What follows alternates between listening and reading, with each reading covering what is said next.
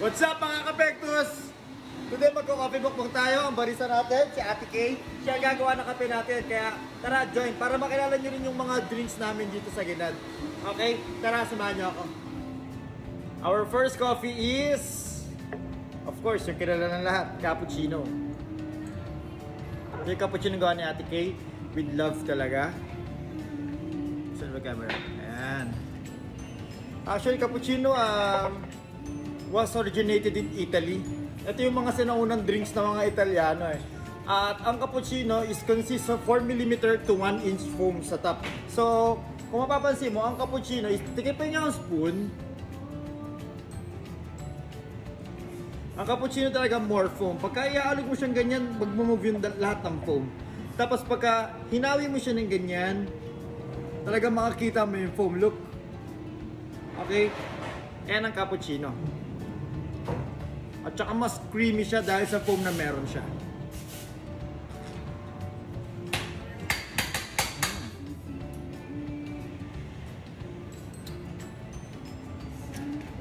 Ang sarap na ito. Actually, kung uh, i-rate ko tong uh, score ng cappuccino para sa akin ha, um, hindi ako masyadong fan ng creamy na coffee. Kaya rate ko ang cappuccino namin ng 7 out of 10.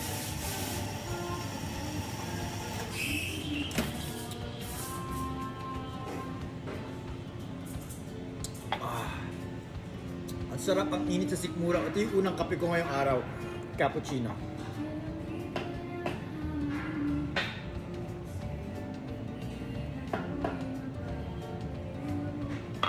Ah, sarap. Ang kape namin pala ngayon ginagamit is sa Costa Rica pa rin. Ngayon, for the second coffee, of course, yung kapatid ng cappuccino, latte.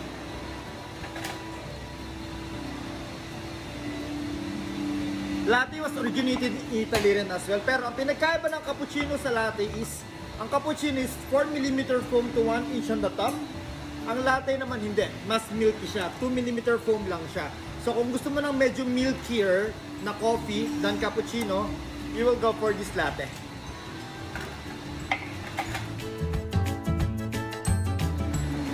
Okay, for my third coffee, I have here flat white. Actually, medyo memorable tong flat white na to sa akin kasi yung amo ko, fan siya ng flat white talaga.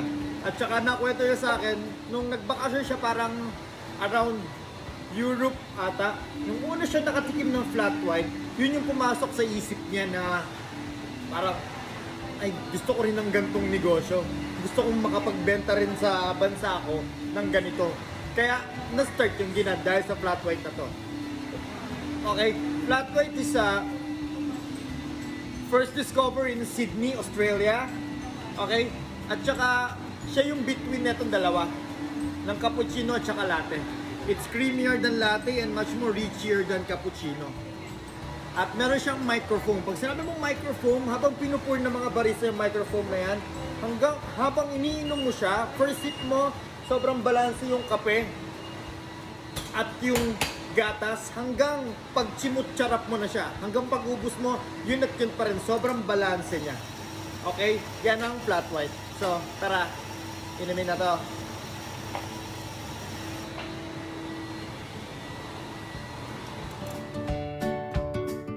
Hi. Ako nga pala yung sinayang mo. May tissue ya Okay, I'm done with my flat white. Chimucharap na po. Thank you. For my third, for my fourth coffee is Piccolo. Here. Ano naman yung lahat yung art neto? Pakita natin.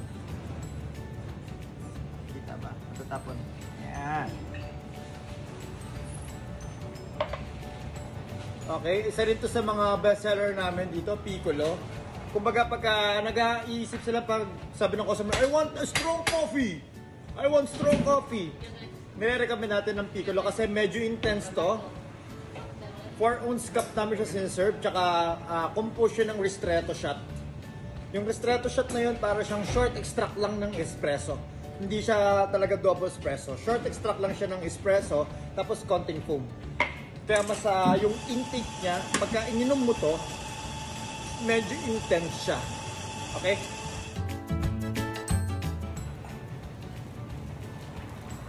Ito, um, tapos ko na siya. Pinapas forward ko para chimut-charap talaga. Okay. Medyo umiinit na. Ibig sabihin na ito, talagang kailangan ko itrabaho to. At saka, ang, ang advantage ng coffee namin dito sa UAE, actually most of the Middle East, hindi naman kasi sa kanila pwede yung alak dito.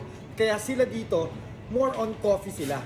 Kaya na uso na din dito talaga yung specialty coffee kung tawagan.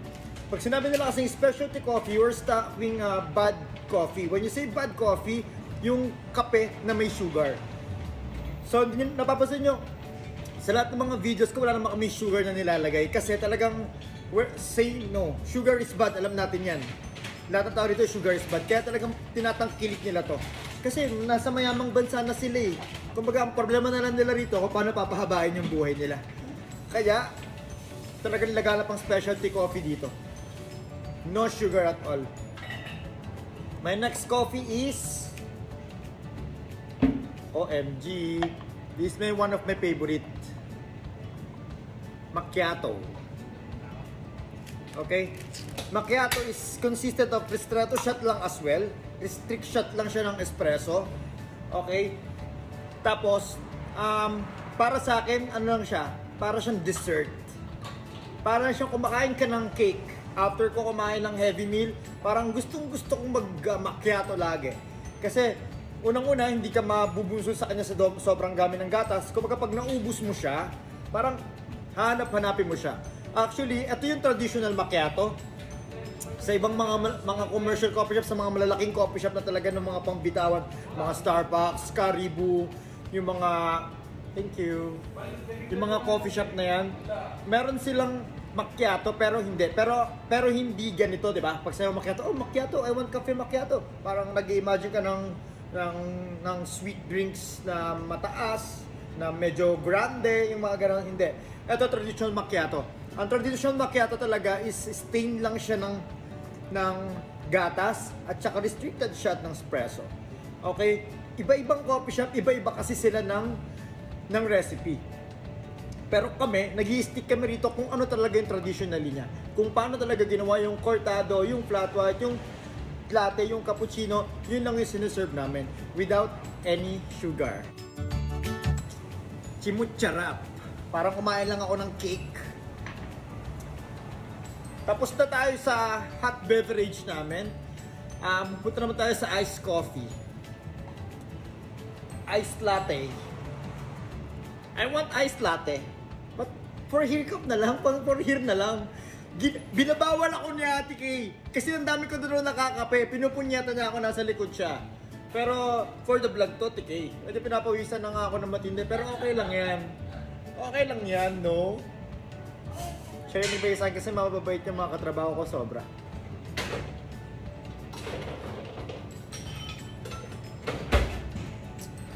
Ngayon, iced latte.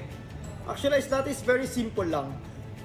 Three pieces of ice, milk, espresso. Kalas, wala kaming ginalagay na kahit na anong cheche boreche. Kahit na ano, wala. Tsaka yung milk namin eh hindi naman din matamis. Talagang yung nabibili lang din sa Pilipinas sa atin. Talagang may low fat and may full fat. Sakto lang. Kaya namin napapasarap yan dahil sa mga origin ng kape namin. Talagang ini-squeeze namin yung potential ng kape hanggang sa mabigay niya sa amin yung pinakamatamis, yung pinaka-notes niya, yung pinaka-beauty niya, yung pinaka talagang highlight ng kape. Kaya maraming nagsasabi na um, kasi iba kasi yung uh, specialty barista at saka commercial barista. Para sa akin hindi. Pare-parehas lang silang barista, pare-parehas kami nagtatrabaho sa kape. Nasa tao lang yun. Kung gusto mo talagang mag-aral ng kape, talagang bibigyan mo ng oras. Aralin yung mga bagay-bagay. Yun lang yun. Now, for my iced latte. Iced latte. Can I have straw? TK, thank you. Medyo pinapawisan na ako. Kasi sumisipa na yung mga kape. Pero okay lang naman yun. Kasi mamaya itatrabaho ko naman to eh. kung hindi man ako magtrabaho, may ipupush up ko to, ija-jogging ko to. Yun lang yun. Pagka marami ka na intake na caffeine sa katawan mo, ikilos mo lang siya. Okay? Kaya sinasabi ng tao, di ba, pagka uminom sila ng minom ako kape, ay, ayoko ng kape kasi nagpa-palpitate ako. Kasi, ang ginagawa nila, pag uminom ng kape, stay lang, hindi nila kinikilos. Kumbaga, hindi mo pinagtatrabaho yung caffeine, pag hindi mo pinagalaw, hindi mo ginalaw, hindi mo pinagod yung kape mo, talagang yung puso mo yung pahihirapan niya, talagang gusto niya mag-work, gusto niya pawisan. Yan ang yan ang katawan ng tao. Kaya pag nagkape ka, igalaw mo, ikilos mo. Kaya nga 'di ba sa mga office ng mga malalaki na talagang malalaking kumpanya, meron silang coffee break na tinatawag para habang magtatrabaho sila, bago sila magtrabaho or after ng medyo ngarag na sila 3 hours na trabaho, pag nagkape sila, boom, buhay na ulit yung yung isip nila, yung diwa nila, makakilos na ulit sila. So, kaya marami na addict sa kape dahil nga doon sa ganong caffeine niya, sa ganong tama niya. Mga kapektus, alam mo na, parang umitira ng epektus lang yan.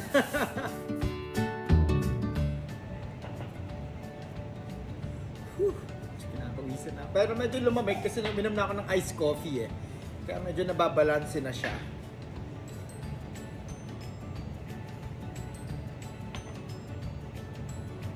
Now, for uh, second iced coffee, we have your iced cappuccino. Siyempre, pag sabi mong iced cappuccino, mas ma-foam talaga siya. Kaya kung mapapansin mo ito, medyo foamy siya. Ang pinakasekreto rito, para ma-enjoy mo ang iced cappuccino, usually, yung mga tao, basta deep, inom na. Hindi. Pag yun pala iced cappuccino, try mo siyang i-mix. Hanggang baba.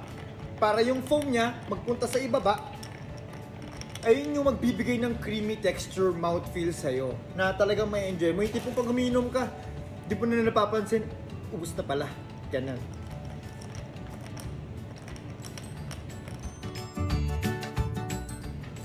Chimut charap. This ice cappuccino. Medyo naantala ng konti kasi dumami dumating yung amo ko. May mga pinag-usapan lang kami ng mga konting bagay.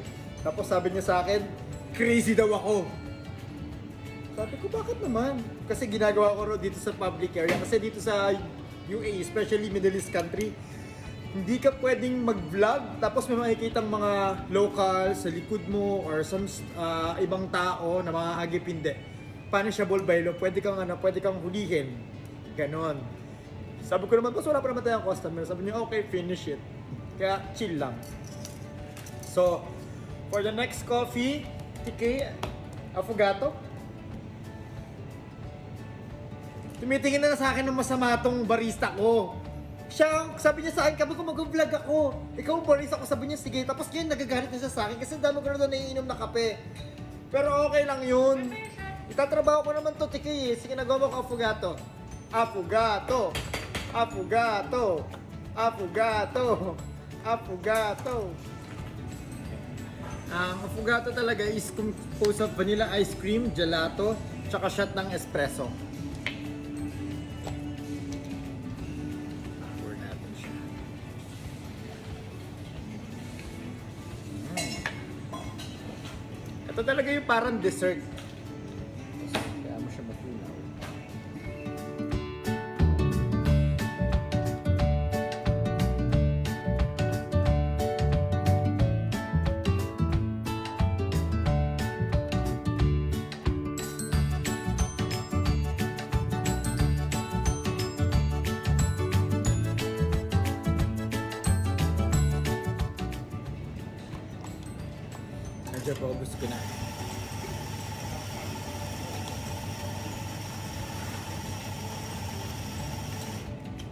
Actually, talaga ito yung pan-dessert namin.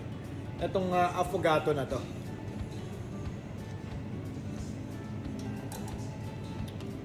Black mint? No. Parang busog ka na. Sobrang lamig kasi na itong ice cream. Kaya hindi ko maratrat. Pero kung hot coffee to,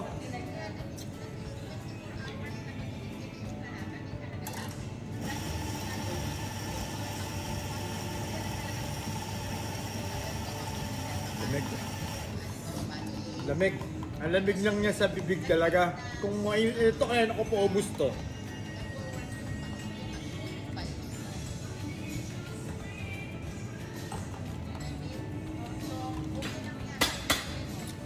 Harap. Now, um, pakilang kape ko na? 1, 2, 3, 4, 5, 6, 7, 8. Pang 9 na coffee ko is ice mocha.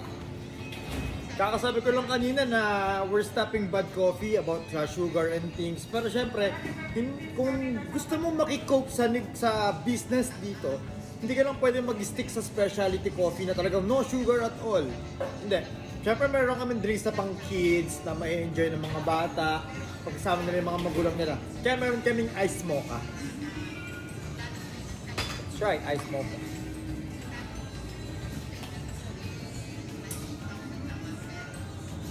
Thank you, Roy. Ice mocha is composed of espresso and uh, chocolate, ice, then shake mo siya. Tapos ito na medyo foamy lang siya.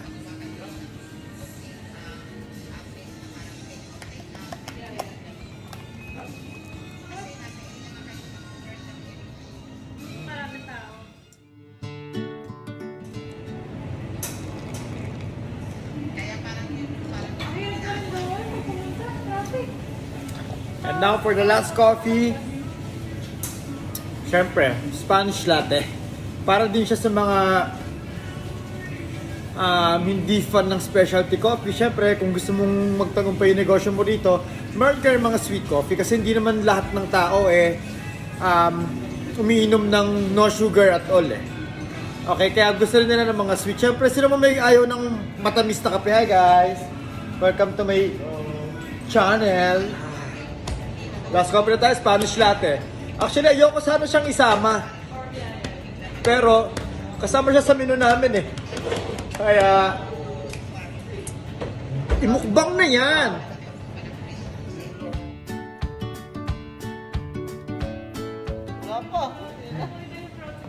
Wait ka lang. At doon na nagtatapos yung coffee mukbang ko. Anyway, nakailang coffee rin tayo. May I have your cappuccino, latte, piccolo, flat white, ice latte, macchiato, ice cappuccino, affogato, ice Spanish latte, tsaka ice mocha. Yun lang para sa vlog na to. Salamat mga kapektus. Hanggang sa muli. Paalam!